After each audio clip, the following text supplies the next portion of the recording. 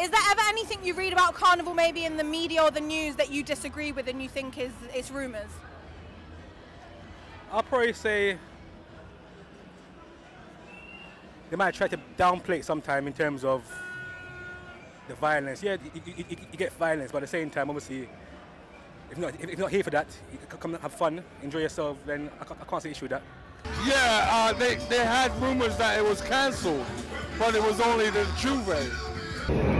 Um, I think obviously it's the major one where they say that it's rowdy and that um, a couple of people just come here to, I don't know, cause a. But no, it's really about recognising the contributions of Black um, Caribbeans to the, to the United Kingdom. And it's, yeah, it's important to create a space where they can um, connect with their roots and just have a good time. Uh, yeah, I think they, they talk a lot about, they focus a lot about like violence and stuff when it's not really about that. Like obviously you get the odd odd thing happening, but it's about the vibes and, and just like having fun. Mm, yeah, it's not as it's not as rowdy as they try to say. It's it's good vibes. Yeah, I mean, they say there's a lot of trouble, but there's trouble anywhere, right? You go out looking for good vibes, you'll get good vibes. You go out looking for trouble, you get trouble. But if you're out here looking for good vibes, that's what you're gonna get. There's nothing crazy as they make it. That is dangerous, and I always feel only if you carry on with danger, you see it.